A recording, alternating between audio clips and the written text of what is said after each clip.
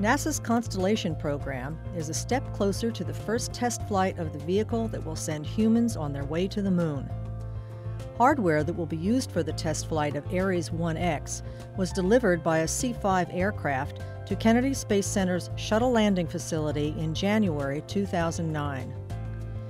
The equipment, consisting of a meticulously engineered simulated crew module and launch abort system, was carefully unloaded from the belly of the enormous aircraft. The launch abort system simulator is 46 feet in length and will fit over the crew module and tower above it, forming the nose of the vehicle. Two flatbed trucks transported the hardware to High Bay 4 of Kennedy's Vehicle Assembly Building. Inside the massive building, workers removed the protective blue cover from the simulated crew module.